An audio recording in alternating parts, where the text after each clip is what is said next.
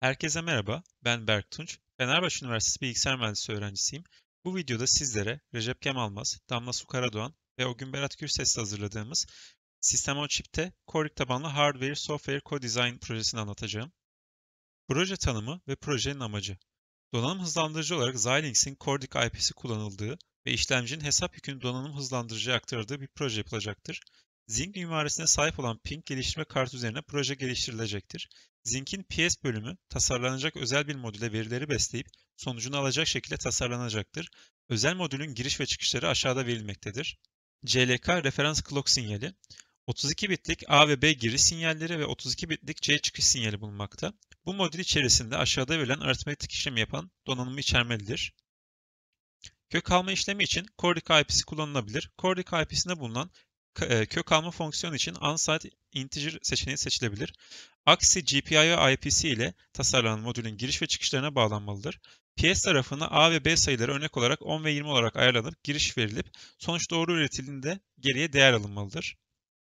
Proje diyagramı Öncelikle Zinc IP'sini ekliyoruz.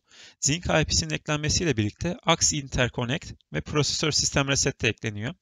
Daha sonra GPIO IP ekleniyor. Yapmaya çalıştığımız şey GPIO IP'sinin çıkışlarından 2 adet sayı göndermek. Hesaplama 1'e. Yani bu e, istenilen e, hesaplamayı gerçekleştirmek. GPIO'ya ise e, bu sayıları VITIS içerisinde tanımlıyoruz.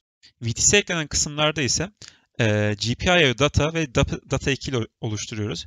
E, sıfırıncı adresi GPIO dataya, 8. adresi ise GPIO data 2'ye atıyoruz.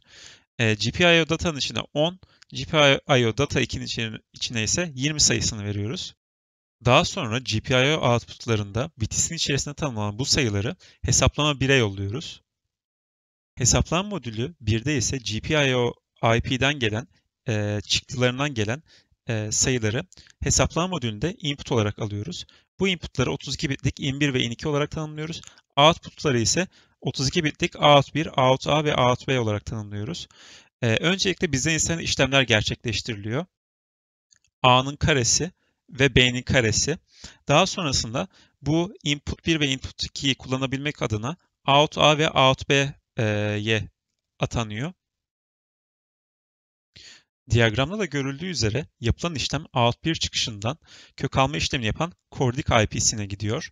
Out A ile out B ise e, çıktıları ise tekrar hesaplama yapmak için e, hesaplama 2 modülüne gidiyor. Hesaplama 2 modülü input olarak Cordic'ten e, çıkan kök sonucunu ve önceki modelden gelen out A ve out B'yi alıyor.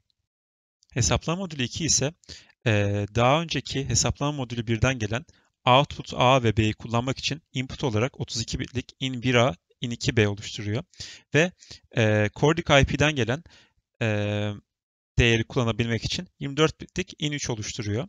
Ve bu e, tüm işlemi atayabilmek adına output olarak 32 bitlik bir, bir e, out1 oluşturuyor. Daha sonrasında Always Set Star Begin bloğunda e, Cordic'ten gelen sayıyla in1A ile in2 B'nin çarpımını toplayıp out birinin içine atıyoruz. Böylelikle bizden istenen e, hesaplama işlemi gerçekleştirilmiş oluyor. Hesaplama 2 modülünde işlem tamamlandıktan sonra elde edilen çıktı yeni oluşturulan yine kök almak için kullanılacak olan Cordic IP'sinin içine gidiyor ve son elde edilen sayının kökü alınıyor. İkinci oluşturduğumuz Cordic IP'sinin çıktısı ise GPIO IP'sinin girişlerine besleniyor. E, girişlerine besleniyor buradaki. Ve GPIO IP'sinin girişleri değiştiği andan itibaren interrupt üretiliyor ve bu interrupt zinc IP'sine geliyor ve dallanma oluşuyor. Dallanma ile GPIO handler'ın içerisine giriyor ve işlem sonucunda oluşan sayı e, burada bastırılmış oluyor ve proje tamamlanıyor. Proje çıktıları ise 10 ve 20 değeri verildiği zaman 14 sonucu gerçekleşiyor. Burada hesaplama makinesinde yaptığımız işlemler de gözükmekte. 1000 ve 2000 değerleri verildiğinde ise sonucumuz 1415 olarak hesaplanıyor.